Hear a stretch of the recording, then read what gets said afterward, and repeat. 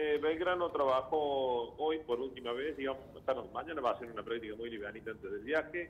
El técnico Julio Constantín, como veníamos anticipando, dijo que va a colocar lo mejor que tiene y en lo mejor que tiene no están ni Herrera, ni Cuero, ni Gudiño, ni Patiño, ni casi ninguno de los muchachos que vinieron para reforzar el plantel en última instancia, ¿no?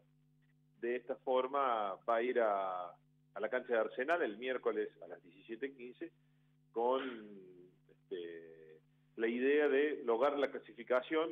Recordemos que Belgrano tiene este último partido. A partir del próximo jueves ya queda licenciado el plantel que no va a volver a entrenar hasta los primeros días de este junio, que es cuando retornará factiblemente ya con técnico nombrado y este, demás, este, y demás, y demás.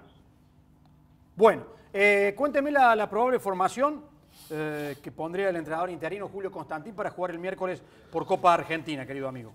Bueno, eh, Rigamón tiene el arco, Tomás Guidara el, el lateral por derecha, Franco Pardo, que va a jugar como primer marcador central, Joaquín Novillo y Juan Quiroga, eso sería este, la última línea, eh, Juan Bruneta por derecha, Lertora y Meli el doble 5, Techera por izquierda, Sequeira y Matatán Uribe, que tendría la oportunidad de jugar su primer partido en Belgrano de arranque. Eh, los 11 que colocaría el técnico, no lo confirmó este, Constantino hoy, pero sí dio a entender que este va a ser el equipo.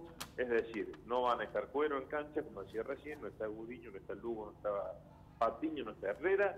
Eh, ninguno de esos, pues el técnico decidió poner, me parece, a los jugadores que tienen ganas de jugar, ¿eh? más que a los que mejor están, a los que tienen más ganas. Me parece muy bien.